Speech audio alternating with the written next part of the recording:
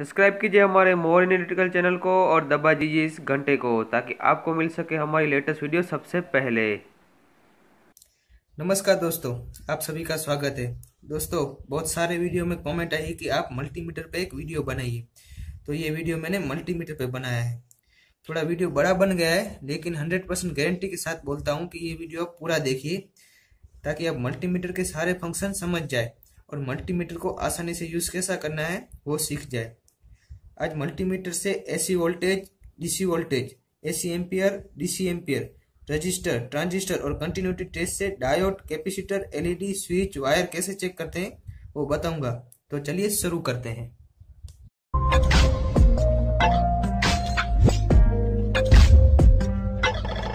दोस्तों, बाज़ार में तो बहुत सारी रेंज के मल्टीमीटर मिलते हैं। मेरे पास ये तीन मल्टीमीटर है। मैं आपको ये मल्टीमीटर यूज़ करने की सलाह दूँगा। क्योंकि इसमें सब कुछ सिंपल तरीके से बताया हुआ है और आप सीख रहे हैं तो इससे बढ़िया मल्टीमीटर कोई नहीं हो सकता। आप मल्टीमीटर को यूज़ करना सीख जाएँगे, उसके बाद बड़ी रेंज के आप मल्टीमीटर ले सकते हैं। तो दोस्तों, मैं ये मल्टीमीटर की प्राइस बता देता हूँ। तो ये मल्टीमीटर की प्राइस है पाँच हज़ार रुपये। ये आपको पच्चीस सौ में पड़ेगा और ये आपको बाज़ार में आसानी से डेढ़ सौ या दो सौ में मिल जाएगा। मीटर की डिस्प्ले है और ये पॉइंटर है, जिसको हम कहीं पे भी सेट कर सकते हैं। और ये हमारे दोनों प्रोप्स है। ये रेड वाला है, वो पॉजिटिव प्रोप्स है, और ये ब्लैक वाला है, वो नेगेटिव प्रोप्स है। तो हमें करना क्या है कि ये जो नेगेटिव प्रोप्स है, उसको हमें कॉमन पे ही सेट कर देना है। ये दोस्तों आपको याद रखना है कि जो नेगेटिव प्रोप्स है, उसको हम कॉमन में ही रख देंगे। और ये पॉजिटिव प्रोप्स है, उसको क्या करना है कि वोल्टेज ओम और मिली एम्पियर पे रख देना है। और अगर हमको 10 एम्पियर तक के डीसी चेक करने हैं तो हमें इसको यहाँ पे 10 एम्पियर में रख देना है। ठीक है? तो नॉर्मल हमें वोल्टेज ओम्स और मिली एम्पियर में हमें इसको सेट करना है। तो सबसे पहले मैं आपको एसी वोल्टेज कैसे चेक करना है वो बताता हूँ। तो आपके मीटर के पॉइंटर को 750 वोल्टेज पे रखिए। और इधर 200 वोल्टेज है तो आप 200 वोल्टेज पे रखेंगे तो क्या है कि वोल्टेज शो नहीं होगा। क्योंकि हमारे घर पे 220 से 240 तक का वोल्टेज आता है। तो क्या है कि डिवाइस से थोड़ा ज़्यादा वोल्टेज पे हमें ये मीटर को सेट करना है। तो ये पॉजिटिव प्रोब्स और नेगेटिव प्रोब्स को हम ये सॉकेट में डालेंगे। ये देख, देखिए दोस्तों, कितना आ रहा है? दो सौ पैंतीस पैंतीस छत्तीस आ रहा है, ठीक? और अगर हम इसको दो सौ पे रखते हैं तो देखिएगा, ये नहीं आएगा। क्योंकि क्या है कि 200 वोल्टेज से इसमें ज़्यादा वोल्टेज आ रहे हैं तो ये अलग अलग देखिए, रीडिंग शो कर रहा है। तो हमें क्या करना है उसको? 750 वोल्टेज पे सेट करना है। तो ये 200 पैंतीस या छत्तीस आ रहा है, ठीक है? ये तो हमने एसी वोल्टेज चेक किया। अब हमें डीसी वोल्टेज चेक कैसे करना है, वो मैं आपको बताऊँगा। तो डीसी वोल्टेज का ये सिंबल ये रहा, और एसी वोल्टेज का सिंबल ये रहा। तो ठीक है तो डीसी वोल्टेज चेक करना है तो हमें पॉइंटर को डीसी वोल्टेज पे ले जाना है। तो अब मेरे पास दो तरह की बैटरी है, एक नौ वोल्ट की है, और एक 1.5 वोल्ट की है। तो पहले हम नौ वोल्ट की बैटरी चेक करते हैं। तो नो वोल्ट की बैटरी चेक करने के लिए हमें क्या करना है कि सिंपल हमें इधर 20 पे रखना है। क्योंकि क्या है कि हमारे पास नो वोल्ट की बैटरी है तो ये 20 तक की रेंज में चेक हो जाएगा। तो ये पॉइंटर को मैंने 20 वोल्टेज पे रखा है। और ये नो वोल्ट की बैटरी हम चेक करते हैं। ये देखिए कितना आ रहा है एट पॉइंट नाइन फोर लेकिन ये देखिए, ये वोल्टेज जो DC voltage eight point nine four five आ रहा है, वो माइनस में आ रहा है। तो हमसे क्या गलती हुई कि हमने ये पॉजिटिव टर्मिनल में नेगेटिव प्रॉप्स लगाए और नेगेटिव टर्मिनल में पॉजिटिव प्रॉप्स लगाए। तो हम क्या करेंगे कि ये प्रॉप्स है, हम उसको उल्टा देते हैं। ठीक है? अब आ रहा है सही तरीके से 8.96 या 95 जो। तो दोस्तों, इस तरीके से आप डीसी वोल्टेज चेक कर सकते हैं। तो मेरे पास एक और बैटरी है 1.5 की, वो हम चेक करते हैं। देखिए दोस्तों 1.44 ठीक है? इस तरीके से आप डीसी वोल्टेज आसानी से चेक कर सकते हैं। दोस्तों, अगर 20 वोल्टेज से ज़्यादा होगा तो आपको 200 यहाँ पे सेट करना है। अगर 200 वोल्टेज से ज़्यादा डीसी वोल्टेज हमें चेक करना है तो हमें ये 1000 पे रखना है, ठीक है? ये तो बात होगी एसी वोल्टेज और डीसी वोल्टेज की। अब हमें रजिस्टर कैसे चेक करना है, वो देख। तो अब हमें रजिस्टर कैसे चेक करना है, वो हम देखते हैं। तो हमें पॉइंटर को यहाँ पे ओम्स पे ले जाना है। ये देखिए दोस्तों, ये ओम्स का निशान है, ठीक है? तो पहले हम 200 ओम्स पे ले जाएँगे और हमारे पास तीन अलग अलग वैल्यू के रजिस्टेंस है तो हम इसको चेक करते हैं। तो पॉइंटर को मैंने 200 पे सेट किया है और मैं ये चेक करता हूँ। तो ये देखिए, ये 100 दिखा रहा है तो ये हमारा 100 ओम का रजिस्टर है, ठीक है? अब हमारे पास ये दूसरा है, उसको हम चेक करते हैं। तो देखिए दोस्तों, इसमें कुछ वैल्यू शो नहीं हो रही। तो मैं क्या करूँगा कि पॉइंटर को एक स्टेप आगे लूँगा। ये देखिए, ये कितना दिखा रहा है? नाइन नाइन फोर मतलब कि ये हमारा हंड्रेड हंड्रेड ओम्स का रजिस्टर है, ठीक है? और हम अब ये तीसरा रजिस्टर चेक करते हैं। ये वैल्यू नहीं दिखा रहा है तो हम एक पॉइंटर को एक स्टेप आगे लेंगे। अभी भी नहीं दिखा रहा है तो हम एक स्टेप और आगे लेंगे। देखिए दोस्तों, ये कितना दिख रहा है? नाइन एट पॉइंट सिक्स तो ये हमारा रजिस्टर हंड्रेड हंड्रेड के का है, ठीक है?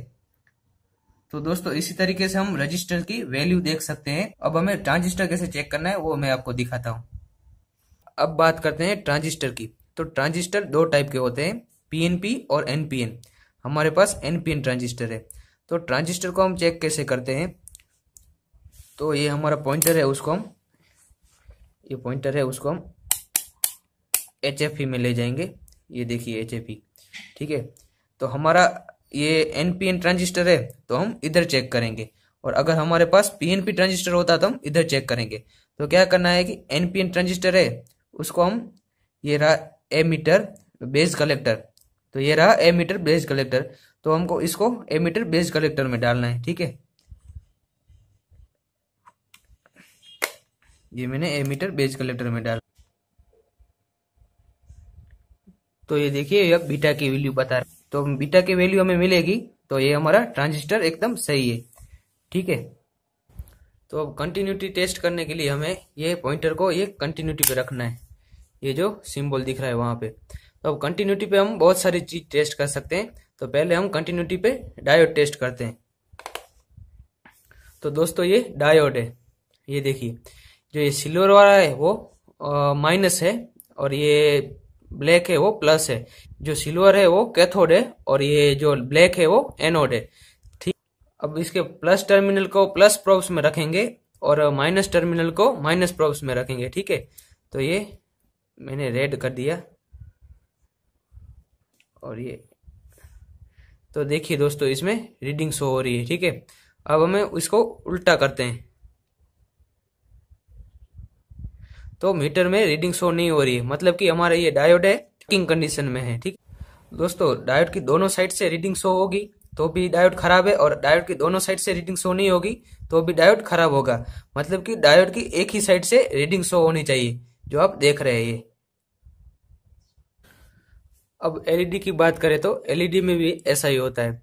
ये ये जो छोटा टर्मिनल है, वो माइनस है और ये बड़ा टर्मिनल है, वो प्लस है। तो मेरे पास दो एलईडी है तो हम टेस्ट करते हैं कि हमारी एलईडी वर्किंग कंडीशन में है या नहीं है। ठीक। तो ये माइनस टर्मिनल को हम माइनस थ्रोड में रखेंगे और ये प्लस टर्मिनल को हम प्लस थ्रोड में रखेंगे। तो यहाँ पे कुछ रीडिंग शो हो रहा है लेकिन एलईडी ग्लो नहीं करी। मतलब कि हमारी ये एलईडी खराब है और दूसरी हमारे पास ये एलईडी है, ठीक है? तो ये एलईडी हम चेक करते हैं। उसमें भी ऐसा ही करेंगे। माइनस थ्रोड को माइनस में और प्लस थ्रोड को प्लस में। ये देखिए दोस्तों, हमारी एलईडी ग्लो हो रही है। मतलब कि ये हमारी एलईडी सही है, ठीक है? तो अब हम कैपेसिटर की बात करें तो दोस्तों कैपेसिटर में भी ऐसा ही है।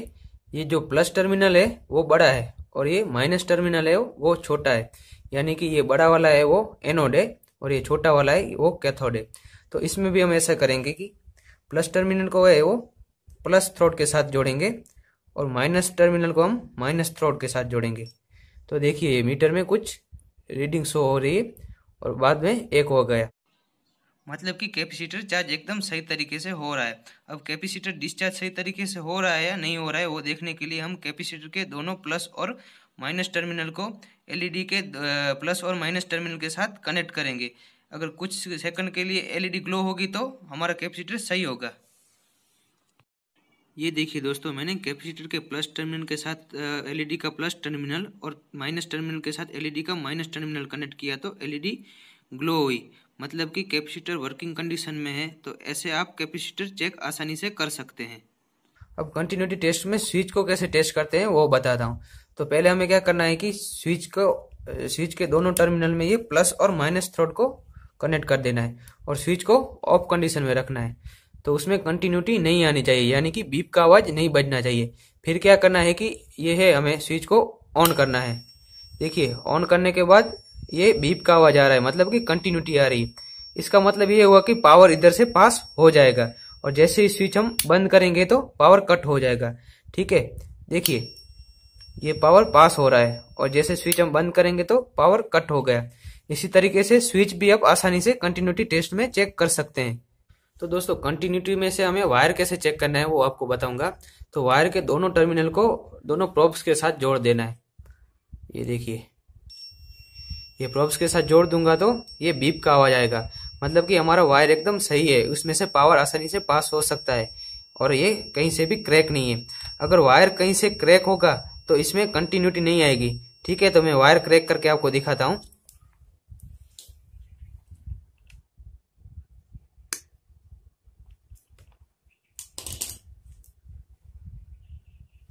तो ये देखिए दोस्तों इसमें कंटिन्यूटी नहीं आ रही है। मतलब कि हमारा वायर कहीं से क्रैक है। तो इसी तरीके से हम आसानी से वायर हमारा सही है या बीच में से क्रैक है या टूट गया है, वो पता लगा सकते हैं। ठीक है? अब डीसी एम्पियर कैसे चेक करते हैं, वो मैं आपको दिखाता हूँ। तो ये दोस्तों, ये एलईडी है और ये बैटरी है। तो एलईडी के पॉजिटिव टर्मिनल पे मैं पॉजिटिव और नेगेटिव टर्मिनल पे बैटरी का नेगेटिव टर्मिनल रखूँगा तो ये एलईडी ग्लो होगी। ठीक है? तो अब हमें इसका एम्पियर कैसे चेक करना है? तो हमें एलईडी की सीरीज़ में हमें मीटर के दोनों प्रोब्स रखने हैं। इस तरीके से हम एलईडी की एम्पियर चेक कर सकते हैं। तो दोस्तों, इसमें मैंने क्या किया है कि जो बैटरी का नेगेटिव है, उसको मैंने एलईडी के साथ कनेक्ट कर दिया है। बैटरी का पॉजिटिव है, वो पॉजिटिव प्रोब्स के साथ कनेक्ट किया है। और ये है वो नेगेटिव प्रोब्स उसको हम एलईडी के साथ कनेक्ट करेंगे, ठीक है? तो पहले ये मीटर को हम टू थाउज़ेंड पे रखूँगा, ठीक है? अब ये मैं नेगेटिव प्रोब्स को मैं ये हमारे एलईडी के साथ रखूँगा। तो ये हमें वैल्यू वन एक दिखा रहा है। तो अब क्या करना है? हमें वैल्यू एक्सटेंड करने की ज़रूरत है। मैं यहाँ पे 20 मिली एम्पियर पे सेट करता हूँ। ठीक है? अब ये नेगेटिव प्रोब्स को मैं रखूँगा, यहाँ जोड़ूँगा। फिर भी हमें एक ही दिखा रहा है। मतलब कि हमें और वैल्यू एक्सटेंड करने की ज़रूरत है। ठीक है? तो अब मैंने 200 पे सेट किया है। नाइन्टी सिक्स बता रहा है। ठीक है दोस्तों? तो इस तरीके से आप ये एमीटर को सीरीज़ में रख के एम्पियर चेक कर सकते हैं। ठीक है दोस्तों? फ्रेंड्स ये क्लेम्पोन मीटर है। ऐसी एम्पियर मल्टीमीटर से चेक नहीं करते, उसके लिए क्लेम्पोन मीटर का उपयोग करते हैं। क्लेम्पोन मीटर से एम्पियर चेक करने के लिए प्रॉप्स की ज़रूरत नहीं रहती तो हम इसको निकाल देंगे। तो हम ये तीन आर वाई बी फेस के एम्पियर चेक करेंगे। ये ऐसी एम्पियर का सिंबल है। तो पहले हमें पॉइंटर को बीस एम्पियर पे सेट करके, ये जो तीन फेस दिख रहे हैं आर वाई बी उनके हम एम्पियर लेंगे। ये देखिए इसमें रीडिंग शो नहीं हो रही मतलब कि इसमें बीस एम्पियर से ज़्यादा करंट जा रहा होगा। तो हम पॉइंटर को एक स्टेप आगे करेंगे। तो ये देखिए वन सेवेंटी नाइन दिखा रहा है। मतलब कि इसमें वन सेवेंटी नाइन एम्पियर जा रहा है। अब हम बी फेस के एम्पियर चेक करेंगे। इसमें वन एटी दिखा रहा है। मतलब कि इसमें वन एटी तक एम्पियर जा रहे हैं। अब हम वाई फेस के एम्पियर चेक करेंगे। तो वाई फेस में वन सेवेंटी एट तक का एम्पियर दिखा रहा है। मतलब कि वाई फेस में भी 178 और 9 तक का एम्पियर जा रहा होगा। इस तरह आप एम्पियर चेक कर सकते हैं। फ्रेंड्स इस वीडियो में इतना ही। आशा रखता हूँ कि ये वीडियो में मैंने जो भी समझाया वो आप सही तरीके से समझ गए होंगे। अगले वीडियो में फिर से मुलाकात होगी। आपका दिन बहुत ही शुभ रहे।